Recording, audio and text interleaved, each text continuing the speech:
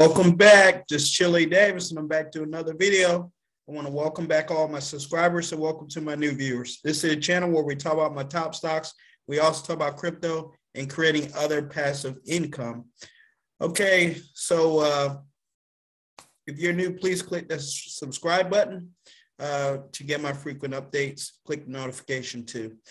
Um, well, today the market was down again. Another uh, buying opportunity the Robinhood was down 5.85%. Um, again, there's no shockers. The shorts win. So the people that were shorting the QQQ, uh, this the NASDAQ stocks, they were up again. In fact, uh, the short QQ was up over 18% today. Uh, I talked about this in previous videos. Uh, this is the shorting of the NASDAQ. It was up 18%. Again, the Fed has no way of controlling inflation. So what does he do, or what does the Federal Reserve do? They raise interest rates, and and that effect will take at least three to four months to start affecting inflation to slow people down from spending because inflation is nothing more than people buying stuff and actually the demand is higher than what is actually available okay so that means people are trying to go buy, let's see, motorcycles and cars and stuff, but there's not enough cars on the lot. So guess what? The the car dealership he he charges more for those cars or goods and services. Okay. So again, uh, the Nasdaq was down. So the short QQ was up 18%. The other VIX uh, index fund was up 25%. Again, as the market continues to crash, the UVXY will be up. Also, the short S&P as well was up 14%. So that's where all the money was made today. Those were the, st- the top index funds. Again, this is going to continue to happen because it's going to take at least six months to bring down inflation. Okay, so if we go over to the stock market, we had bad news here. Target reported, uh, Walmart reported, Lowe's reported. Only one that reported good earnings was Home Depot. The rest of these, their stock fell over 10%. Okay, Walmart fell yesterday 10%. Target fell again today. And again, we see here stock futures rise slowly after Dow has its worst day. Okay, so that was the news today pretty much. Uh, the Dow fell, the S&P fell, the NASDAQ fell. And if you want to keep up to date with some of this stuff, you can always watch my private Facebook group. I post a lot of this stuff that's going on during the day. Uh, as the market is rallying, I was posting about the S&P UX that was up 9% earlier in the day. Also um, posted here was the VIX that was up over 12% today. As the VIX climbs, so does SQQ and UVXY and the NASDAQ was falling today. So pretty much I keep people updated through the private Facebook group. You're welcome to join. Again, uh, if you want to see where the market is going, uh, continuously watch my Facebook group and also continuously watch my YouTube channel.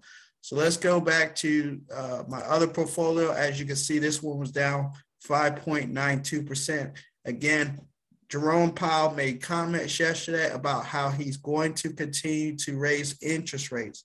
He's going to continue to chop. So interest rates affects the average consumer when they want to go buy a home, go buy a car, go buy anything with a bank note. Okay. Credit cards, it affects everything. Everything goes up. All right. So not only do people have gas prices, food prices going up, now their credit card and their home loans are going up as well. Okay, so the top stock though of the day was uh, uh, well, stock by itself was SoFi Technologies was up 1.73%, which held on and made me a little over $17. Second place is the short QQ. Uh, again, made me a little $8 and UVXY in, in uh, third place as well, up 25%. And UPST was up slightly, the Upstart Holdings, which is good for Upstart considering they were $29 last week. I'm still holding the shares. I have not bought more yet. We are not out of the bear market. There is another shoe to drop. And there's rumor that the Dow will fall another 10%. So not only has the NASDAQ fallen on average, most stocks have fallen 20%.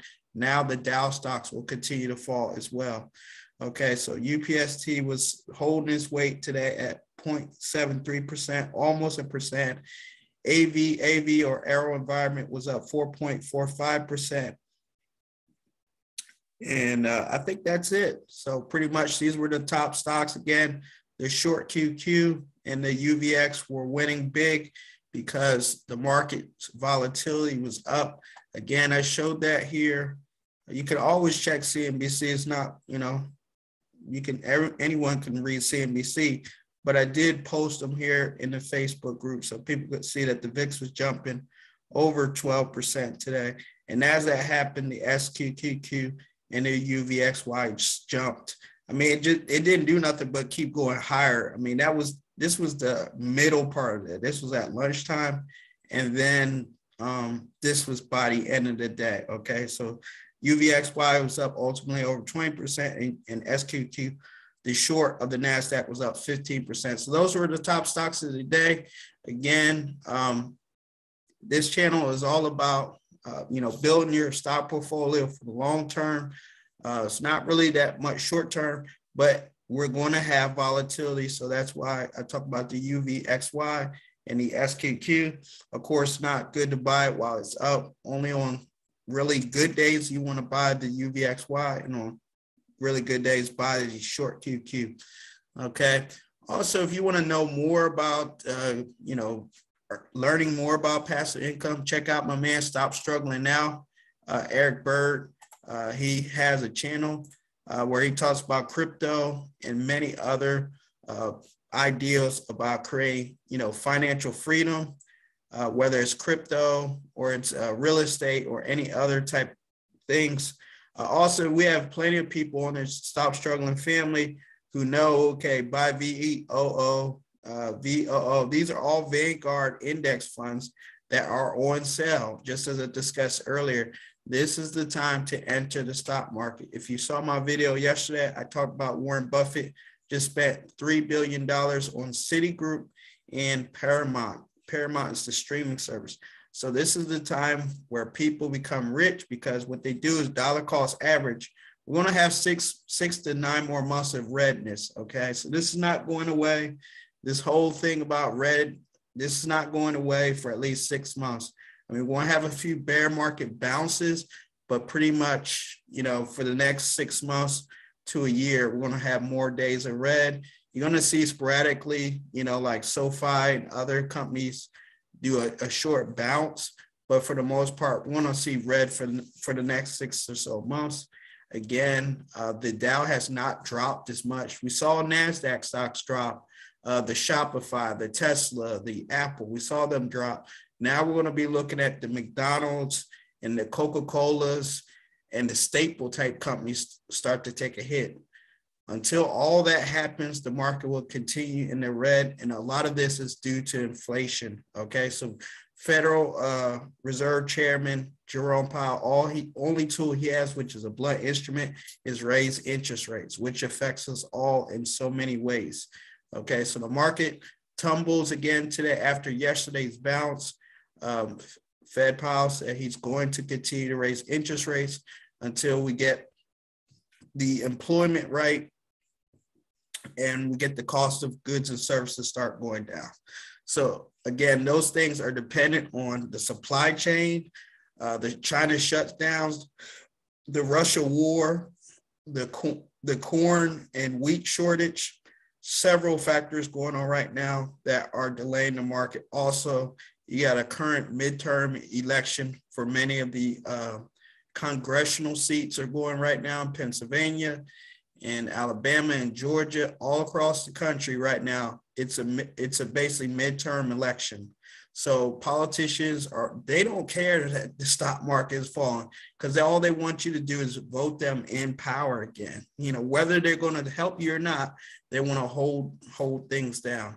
Okay, so anyway, um, portfolio down 5.85 percent.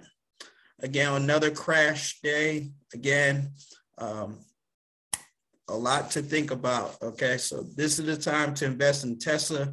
Tesla again was down today, uh, over uh, six percent. Look at just hit below seven hundred dollars. So again, I want to thank you for watching. Thank you for listening. Please like, share. If you like this a free stock, please use my Webull link or my Robinhood link below. And everybody have a great night.